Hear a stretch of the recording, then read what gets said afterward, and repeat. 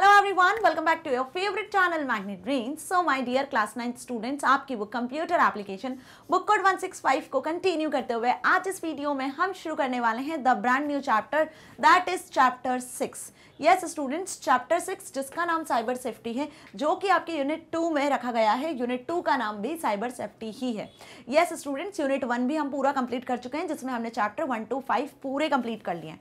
और आज की इस वीडियो से हम unit two that is cyber safety की शुरुआत करने वाले हैं। अब साइबर सेफ्टी होता क्या है? ठीक है, किस लिए यूज़ किया जाता है? ओवरऑल इस चैप्टर में क्या क्या इंपॉर्टेंट पॉइंट्स है ये आज की इस वीडियो में हम कवर करेंगे। सो so, स्टार्ट से लेकर एंड तक आपको पूरी वीडियो को देखना है जिसमें हम देखने वाले हैं what is cyber safety so this is professor Barkha Gupta your computer educator for class ninth and Magnet Brains पे आपको ना सिर्फ़ के ट्वेल्व बल्कि CBSE Hindi English medium C U T N T S C and other competitive exam की preparation कराई जाती है। Hundred percent free of cost with high quality education so इस अच्छी बात से शुरुआत कर लेते हैं आज की इस वीडियो की। अब साइबर सेफ्टी वर्ड को यदि समझना है सो हम इसे नॉर्मली समझते हैं। जैसे आप नॉर्मल जो अपनी लाइफ स्पेंड कर रहे हो मतलब आप घर में रहते हो पेरेंट्स से कॉन्टैक्ट करते हो, घर में किस तरीके से बिहेव करते हो, कैसे मैनर में रहते हो स्कूल जाते हो प्रॉपरली डिसिप्लिन में रेडी वेडी होकर स्कूल यूनिफॉर्म पहन के सही तरीके से स्कूल में भी डिसिप्लिन में रहते हो टाइम पे पहुँचते हो, सब काम टाइम पे करते हो टीचर से अच्छे से बात करते हो प्रिंसिपल से अच्छे से बात करते हो, ठीक है? अपने फ्रेंड्स के साथ में मस्ती मज़ाक करते हो, वगैरह वगैरह। तो आप अपनी नॉर्मल लाइफ जो भी है है ना? जिसे हम ऑफलाइन दुनिया जैसे कह रहे हैं उसमें आप किस तरीके से बिहेव करते हो, कैसे अपने आप को प्रोटेक्ट करते हो, ठीक है? कोई भी चीज़ आपको हार्म नहीं करनी चाहिए, उसके लिए आप अपने आप को किस तरीके से सिक्योर और सेफ़ रखते हो। बिल्कुल वैसे ही हम इंटरनेट पर भी जब काम कर रहे होते हो, चाहे फिर आप कोई सोशल मीडिया एक्सेस कर रहे हो, या फिर आप इंटरनेट पर ऑनलाइन शॉपिंग कर रहे हो, या इंटरनेट पर कोई गेम खेल रहे हो, या फिर इंटरटेनमेंट का यूज़ कर रहे हो मतलब आप कोई म्यूज़िक या मूवी देख रहे हो, आप कोई भी काम इंटरनेट पर कर रहे हो तो उस टाइम पर भी आपको अपनी सेफ्टी को ध्यान रखना होता है। सो so बेसिकली इस चैप्टर में साइबर सेफ्टी का यही मतलब है कि जब भी कोई इंडिविजुअल या ग्रुप ऑफ़ इंडिविजुअल्स इंटरनेट का यूज़ करते हैं तो वो इंटरनेट पे किस तरीके से बिहेव करते हैं किस तरीके से अपनी आपकी अपने आप की खुद की सेफ्टी को ध्यान में रखते हैं उसके लिए क्या मेजर्स हो सकते हैं क्या क्या थ्रेट्स हो सकते हैं जो उनकी सेफ्टी को हार्म कर सकते हैं। सो so, ओवरऑल इस चैप्टर में हमें यही सारी चीज़ें पढ़ना है right so today's age can not be even thought of without internet even in dreams मतलब आजकल जिस दुनिया में हम जी रहे हैं उसे हम इंटरनेट की दुनिया कहते हैं राइट यदि हम उसे बोले तो ऑनलाइन वर्ल्ड में हम जी रहे हैं। ऐसा एक दिन नहीं जाता है कि आप उस दिन में इंटरनेट का मोबाइल का कंप्यूटर का लैपटॉप का पीसी का यूज़ नहीं करते हो। राइट? मोबाइल का तो हर कोई यूज़ करता है, बिना मोबाइल के, उसमें बिना इंटरनेट के हम जी नहीं सकते। फिर चाहे आप किसी से चैट करते हो, किसी से कॉल पे बात करते हो लाइक वो वीडियो कॉलिंग या वीडियो कॉन्फ्रेंसिंग कॉल हो सकता है, ठीक है? या फिर आप कुछ गेम प्ले कर रहे होते हो, है ना? या आप सोशल मीडिया को एक्सेस कर रहे होते हो मूवी देख रहे होते हो सॉन्ग सुन रहे होते हो सो दिन भर में इनमें से कुछ एक ना एक काम तो आप करते ही हो।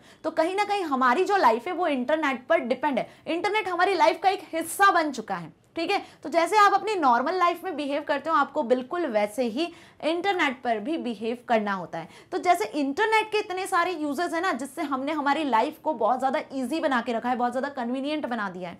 क्या किया है? इंटरनेट ने आपकी लाइफ को बहुत ज़्यादा ईजी और बहुत ज़्यादा कन्वीनियंट बना दिया है। है ना? आपको कहीं बाहर ट्रेवल करके नहीं जाना है, आपको मार्केट नहीं जाना है, आप twenty four into seven hours अपने मोबाइल फ़ोन में लैपटॉप पीसी में ऑनलाइन शॉपिंग जैसे वेबसाइट्स को एक्सेस कर सकते हो और वहीं पर आप डिजिटली हर चीज़ को कर सकते हो। जो भी आपको परचेज करना है डिस्काउंट देख सकते हो ऑफ़र देख सकते हो, ठीक है? आपको इलेक्ट्रिसिटी बिल या फिर आपको किसी भी काम के लिए बाहर नहीं जाना है, आपके पास वेबसाइट्स अवेलेबल है अलग अलग इंटरनेट पे जिनका आप यूज़ करो और घर बैठे अपने काम को आसानी से कर लो। तो ये चीज़ मेरी समझ में आ रही है कि इंटरनेट ने जितना आपकी लाइफ को ईजी बनाया है वहीं उसके कुछ सेफ्टी मेजर्स भी होते हैं, कुछ यहाँ पे रिस्क भी होती है जो आपकी सेफ्टी को, आपकी सिक्योरिटी को हार्म कर सकती है। So although internet has made many things easier, but the same time it has posed many security risk too if not used in a proper way.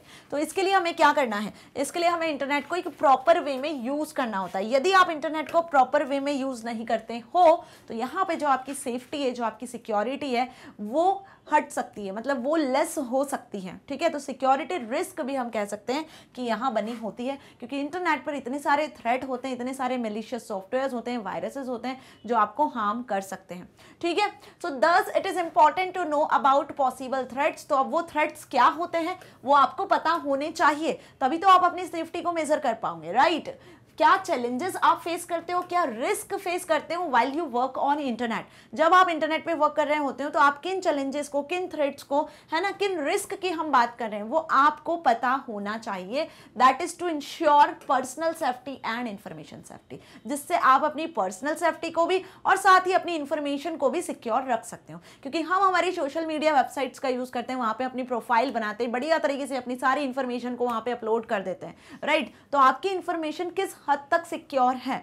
कहीं कोई ऐसा हैकर या कहीं कोई ऐसा पर्सन तो नहीं है जो आपकी इंफॉर्मेशन को हैक कर रहा है स्टील कर रहा है, उसका मिस कर रहा है। ठीक है, कहीं कोई ऐसा पर्सन तो नहीं है जो आपकी इंफॉर्मेशन को हैक करने के साथ साथ है ना, आपकी जो पर्सनल सेफ्टी है, उसे हार्म कर रहा है। क्योंकि आजकल ऐसे बहुत सारी चीज़ें सुनने में आती है ना कि ऑनलाइन एक ओटीपी शेयर किया गया, यदि बंदे ने ओटीपी बता दिया सही सही तो हैकर ने पूरा उसका बैंक अकाउंट खाली कर दिया। पूरा मनी उसका ऑनलाइन तरीके से बैंक अकाउंट से स्टील कर लिया। ये चीज़ भी आपको सुनने में आ रही है। ऐसे बहुत सारे रिस्क ऐसे बहुत सारे थ्रेट है कि जब आप इंटरनेट को यूज़ करते हो तो वहाँ पर बने रहते हैं। तो इंटरनेट को हमें बहुत ध्यान से यूज़ करना होता है, ठीक है? अब इस चैप्टर में डिटेल में हम इसी चीज़ को कवर करने वाले हैं कि क्या चैलेंजेस हैं, क्या थ्रेट्स हैं, क्या रिस्क है। और इन रिस्क से थ्रेट से चैलेंजेस से आप कैसे ओवरकम कर सकते हो? इनसे आप बाहर कैसे निकल सकते हो? क्या सेफ्टी मेजर्स आपको लेने होते हैं? डिटेल में इस चैप्टर में हम इन सारी चीज़ों को कवर करने वाले हैं। सो बहुत इंटरेस्टिंग ये चैप्टर होने वाला है। आपको वो सारी चीज़ें इसमें पता चलेगी, वो सारे तरीके आपको पता चलेंगे कि इंटरनेट पर काम करने से पहले हमें किन चीज़ों का ध्यान रखना होता है?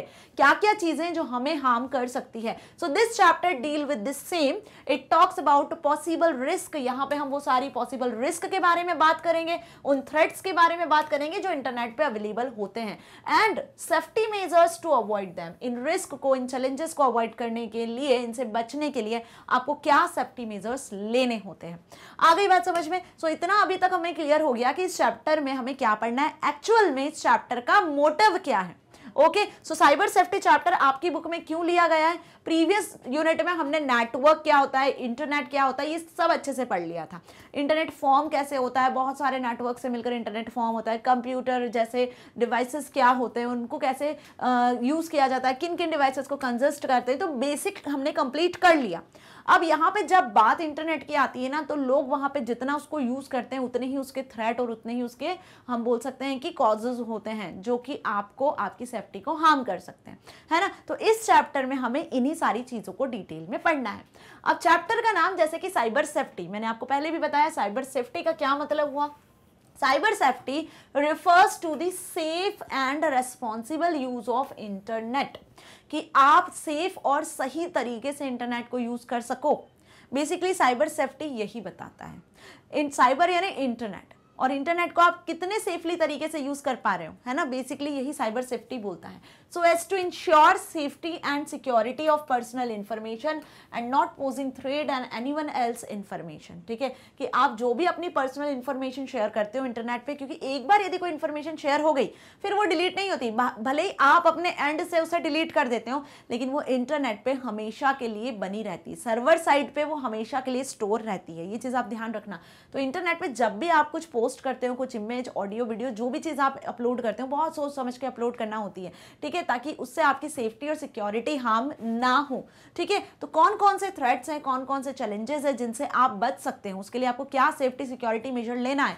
वो चीज़ कौन बताता है? साइबर सेफ्टी बताती है, ठीक है? तो इंटरनेट पे सेफ़ रहने के लिए हम जिस टर्म का यूज़ करते हैं, उसका नाम है साइबर सेफ्टी। अब इसमें किस चीज़ को आप इन्वॉल्व कर रहे हो? इस चैप्टर में हम क्या क्या पढ़ने वाले हैं साइबर सेफ्टी से related so it involve gaining knowledge about possible threats कि कौन कौन से पॉसिबल थ्रेट्स होते हैं ठीक है, उनका नॉलेज हम लेंगे, उनके बारे में हम डिस्कस करेंगे टू पर्सनल सेफ्टी जिससे आप अपनी पर्सनल इंफॉर्मेशन को सेफ़ रख सकते हो and security risk for the information along with measures to prevent and counter them कि जो भी बेसिकली रिस्क आपको लगती है, जैसे आपको ऐसा लग रहा है कि इस लिंक पर मुझे क्लिक करना चाहिए या नहीं करना चाहिए, कहीं ये लिंक से मेरे कंप्यूटर में या मोबाइल फ़ोन में वायरस तो नहीं आ जाएँगे।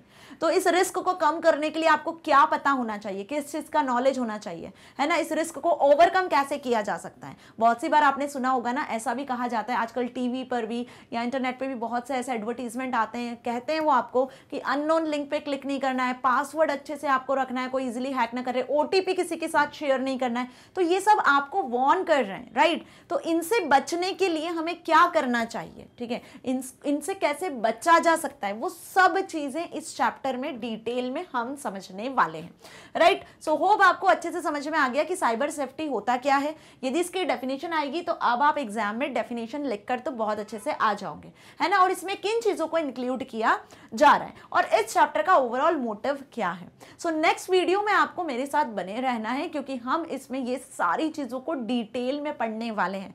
आज तो हमने बेसिकली इस वीडियो में सिर्फ़ चैप्टर का ओवरव्यू समझा है और साथ ही ये जाना है कि साइबर सेफ्टी होता क्या है।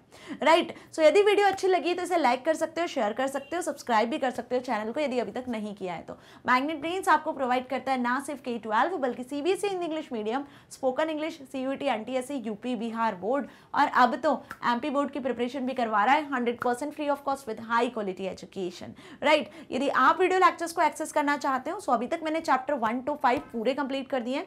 जो स्टूडेंट पहली बार वीडियो देख रहे हैं तो आप सारे वीडियो लेक्चर्स को एक्सेस कर सकते हो यूट्यूब प्लेलिस्ट के थ्रू उसके लिंक आपको डिस्क्रिप्शन में मिल जाना है, या फिर मैग्नेट्रीन्स वेबसाइट का यूज़ कर सकते हो, या फिर आप मोबाइल ऐप को भी डाउनलोड कर सकते हो प्ले स्टोर से राइट सभी जगह से सारे वीडियो लेक्चर्स को कितनी भी बार देख सकते हैं, इसके लिए आपको कोई पेमेंट करने की ज़रूरत नहीं है। ई बुक्स या ई नोट्स को एक्सेस करना चाहते हो तो उसके लिंक भी आपको डिस्क्रिप्शन में मिल जाएगी, वहाँ से आप उसे ईजिली एक्सेस कर सकते हो। यदि आप हमारे सोशल मीडिया प्लेटफॉर्म को एक्सेस करना चाहते हो फॉर लेटेस्ट न्यूज़ और अपडेटेड न्यूज़ के लिए तो आप फॉलो कर सकते हो फेसबुक इंस्टाग्राम ट्विटर जैसे पेजेस को भी, ताकि आप अपने एग्ज़ाम में बहुत अच्छे मार्क्स को स्कोर कर सको, साथ ही साथ अपनी लाइफ में कुछ बहुत अच्छा अचीव कर सको। मिलेंगे नेक्स्ट वीडियो में. Till then stay stay happy thank you so much